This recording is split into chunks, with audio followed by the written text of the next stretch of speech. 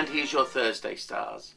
With Mercury conjunct Saturn, this is an exacting and even austere time in close relationships because there's not much feeling. It's all about being analytical, it's about being logical, it's about being realistic, and maybe that's not what you need in a partnership that's to do with love and emotion. But it's very, very good for a business relationship and partnership because it means that you can construct some kind of master plan or you can put something together where you both complement one another and achieve the same goal. If this operates on a romantic or loving level, it may well just be too clinical for you. And so therefore, although you might be on the right wavelength, you want to hear words of love, but actually, all they want to give you is statistics.